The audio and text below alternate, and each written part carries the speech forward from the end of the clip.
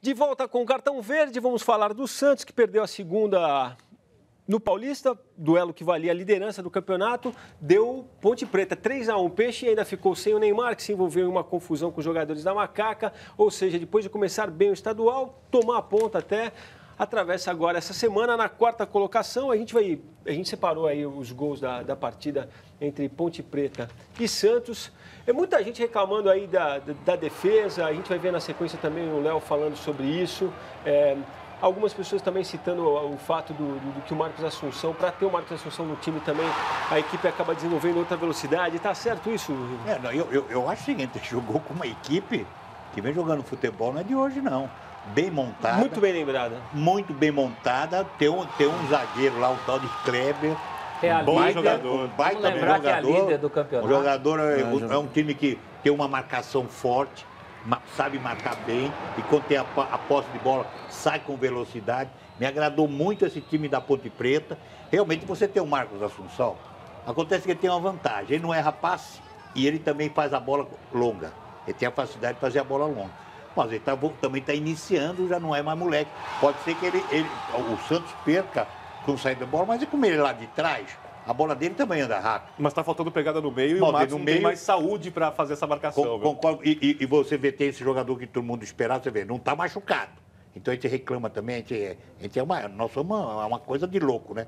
A gente reclama do Ganso machucado que não joga. Montilho, Montilho não está machucado. Não. E aí eu pergunto e, uma coisa. E até agora também, pelo que, pelo que veio e o nome, o que jogava no Cruzeiro, meu Deus, até agora não jogou nada. E eu, a gente tem o Luizão aqui, que foi um cara que sempre teve dupla, né? Mesmo, hum. mesmo que fosse o meia, como, como o Djalminha, né, Luizão? Hum. E eu, às vezes, hum. já falo isso há algum tempo, sinto o Neymar realmente sozinho, cara, nesse sentido, entendeu? Depois da saída do Ganso, entendeu? Quer dizer, se o Montilho não virar e não fizer esse papel, cara, eu Acho que não só o Santos fica prejudicado, como o Neymar também. É, eu acho que vou botar o Ganso para o Santos e o, o Montilho para São Paulo. São Paulo. É, Vamos lembrar que a Ponte Preta está invicta. É.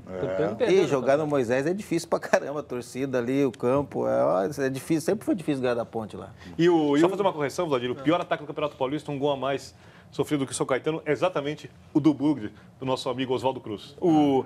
Então, eu, eu citei aqui a declaração, o Léo teve na sala de imprensa hoje conversando com os jornalistas e perguntado sobre, sobre essa questão do Santos ter uma defesa envelhecida. Vejam só o que ele fala. A defesa velha foi que ganhou todos esses títulos esse ano todo. Então é, é conversa fiada, papo furado que não soma nada. Quando se ganha título, ninguém fala nada. Fica todo mundo quietinho. É isso que, eu, que, que deixa chateado. Por que quando se ganha não fala da idade? Quando se perde tem que tocar. Besteira, conversa fiada, vamos evoluir. Eu gostaria tanto de acreditar nessa versão. Acho que tem, tem, tem uma coisa com o Léo que é o seguinte, cara. O cara precisa entender que o clube dura mais que o atleta, cara. Entendeu? E tem ele está errado, ficar, porque é. quando, quando o time de veterano ganha, também a gente fala, inclusive ressaltando o fato de que veteranos estão levando o time para frente. Eu acho, que várias o, vezes. eu acho que o próprio título estadual, o tricampeonato, foi uma coisa que o Santista não deu muito valor. Eu noto isso pela reação do Santista no final da temporada. Estava é, insatisfeito com o time, pedindo os jogadores. Então, é, o título importante mesmo, o último, foi da Libertadores. É verdade. Mas tem 2011. Uma, tem uma coisa no Brasil que é muito difícil. O jogador no Brasil passou de dois anos no clube, três anos. É... Vence, né, Luizão? Aqui vence. Por que isso? É, é só o Marcos e o Rogério Ceni mesmo Antigamente, é, antigamente, antigamente era mais. jogar hoje em dia, hoje, hoje em dia realmente dia, mas, ah, tem, tem, a criando, que vai. É. Tem gente aqui. Eu, eu, esse negócio do, do, do, Santos, do Neymar, também é, é, outro, é o Murici também.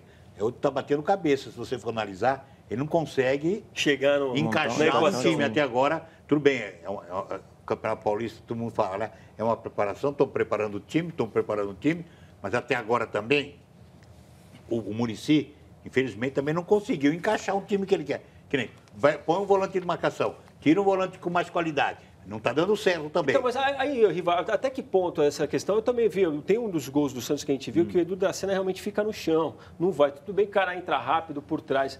Mas o quanto disso é o fato do jogador ter ficado fora, que é o caso dele, do Léo, por exemplo, é, e, não ter tomado o ritmo. É, porque, porque, muita gente questiona, o Caio Alves aqui, por exemplo, com a volta do Edu da Sena ao time titular, o que será que faz o município preferir escalar o Durval do que o Neto? Mas a dupla, bem, mas bem, bem. A, não, a dupla é perfeita. Né? Sempre e o Guilherme bem. Santos na lateral também, é elogiado, pode não, mas, também, mas, mas não, é, o Léo é o Léo.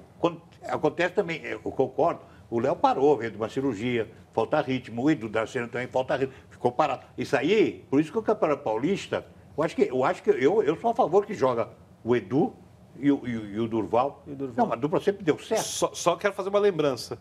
O primeiro jogo do Campeonato Paulista, o primeiro jogo da temporada, aconteceu faz apenas um mês e o técnico teve 13, 14 dias antes para trabalhar a equipe, dando condicionamento físico. Eu acho que ainda é cedo para a gente exigir dos treinadores que estão com jogadores novos um time coletivamente então, estão bem preparado. Por isso que eu falo, os treinadores, somente o Ney Franco está batendo cabeça, que eu acredito, em termos de, de achar uma equipe até mais ah. fácil, porque o, o Santos que, que renovou bastante. Mas você vê, a equipe que é líder é a equipe que manteve o, a base. a base do ano passado, né? E que é, também tá deve ponto, ter se apresentado antes, treinado mais, tido, tido mais tempo para trabalhar, manteve o treinador, que acabou o ano. Agora, em termos de jogadores novos, o Murici não pode reclamar, não, porque a exceção do Montilho, quem entrou, entrou bem.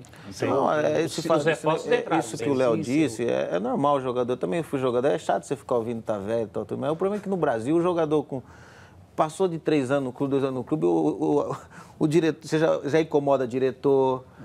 A incomoda todo mundo. Todo né? mundo. A torcida, a torcida, a, a, a torcida sabe onde você vai, quando, não, sabe o boteco que você está, o restaurante que você é, vai. E, é o seguinte, Luizão, quando tá ganhando, não dá tudo Dá bem. nada, a hora que o velho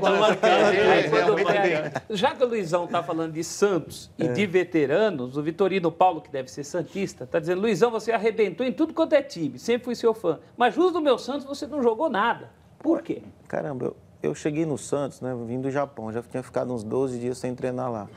Eu cheguei aqui, me, me colocaram para jogar, joguei, primeiro jogo, joguei bem, deu passo pro gol, segundo jogo também joguei bem, o terceiro jogo o Nelson já me tirou no intervalo porque falou que ia ser expulso com o Antônio Carlos, nunca vi o centroavante, pô, então não ia, jogar, não ia terminar nenhum jogo, eu tomava amarelo todo Nelson jogo. Batista, né? É. Aí então, aí chegou o jogo do Corinthians, eu fui pro banco, Normal. entrei e fui expulso. Aí veio, aí, aí veio o Vanderlei. Olha, você quer ser meu centroavante por dois anos? Falei, quero. Porque cheguei no guichê do Santos em dezembro, todo mundo recebendo, o seu não está autorizado. Verdade, o meu não estava autorizado. E o Vanderlei, pô, quer? Eu falei, tudo bem, Vanderlei. Cheguei aqui, treinei 26, 27, 28 de dezembro.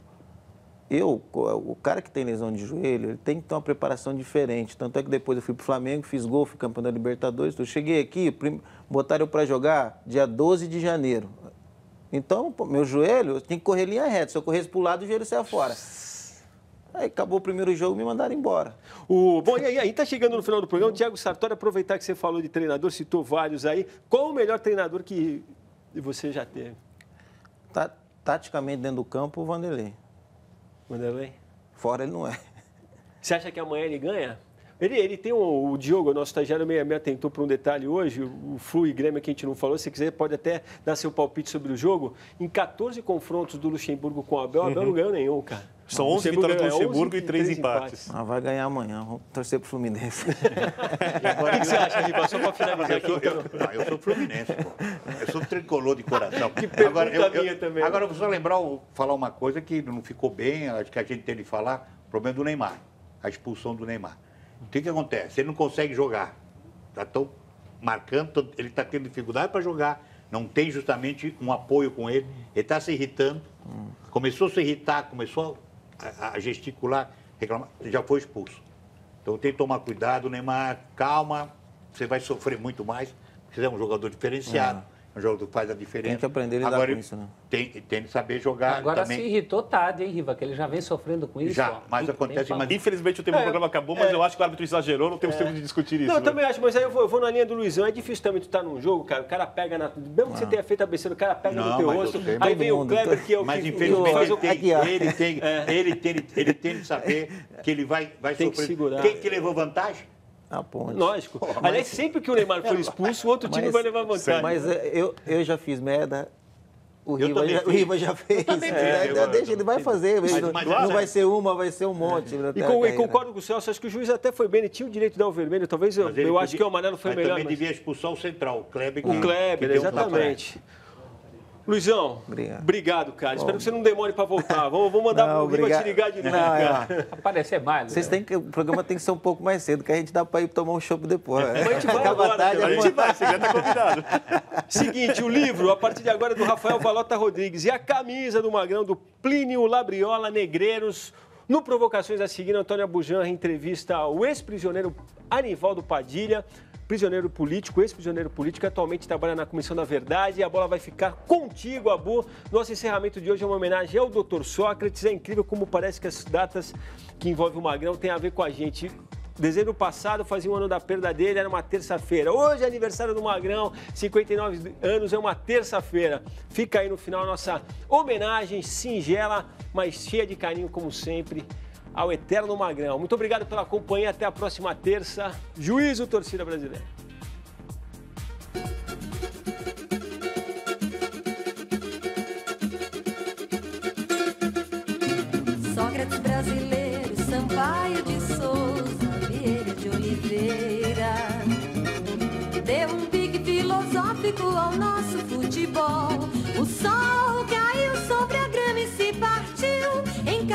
Cristais.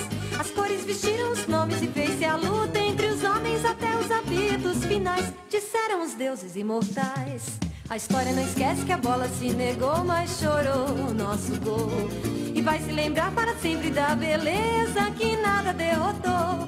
Mas quem será que diz quem venceu no país em que o ouro se ganhou e perdeu?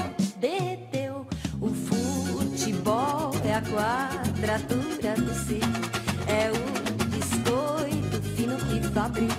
É o pão e o rito, o gozo, o grito, o gol. Salve aquele que desempenhou entre a anemia e a esperança. Loteria o leite das crianças se jogou com destino e elegância. Dançarino pensador, sócio da filosofia, da cerveja, do suor. Ao tocar de calcanhar o nosso fraco, a nossa dor. No vazio, herói civilizador.